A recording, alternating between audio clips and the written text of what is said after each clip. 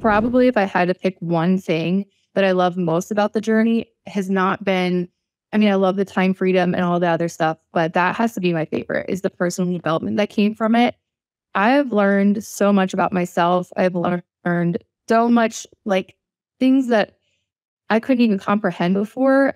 And now I'm like, I've become such a better person through the journey. And you really have to grow as a person to be able to do I think to be your own boss and to to lead other people too, you know, if you have a team or whatever it is.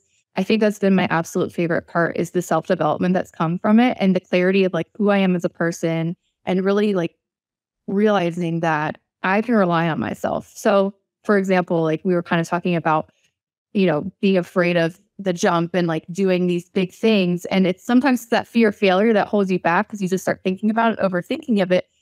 But when you're when you're becoming like this entrepreneur and you're on your journey of learning who you are, you realize like, hey, look at everything I've already accomplished. I've gone to nursing school. I put myself through CRNA school.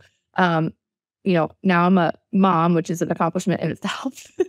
and so it's like you look at these things and you learn like, hey, I can do hard things. So yeah, there's something else here that's hard and it's a big a leap and it's kind of scary, but you learn like, hey, I can trust myself to make it happen if I want it to happen. Like you just have to like have that self-confidence that you're you're gonna be fine if you've got you, you know, because as an entrepreneur, it's all on you. So I think that's been my favorite part. I've invested a lot of time and money into coaching, just all different kinds of coaching, but a lot of it, like the self development piece of it, and I just find it so fascinating that when you really become a better person, your business grows um, and you have such a better life all around. So I think that's been absolutely my favorite, favorite hands down part about being an entrepreneur is the self development journey.